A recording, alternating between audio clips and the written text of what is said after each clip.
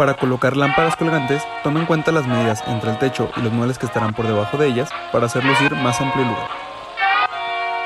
Para el tamaño de tus cortinas o persianas, toma medidas exactas para hacerlas lucir y dar una impresión elegante en tu hogar.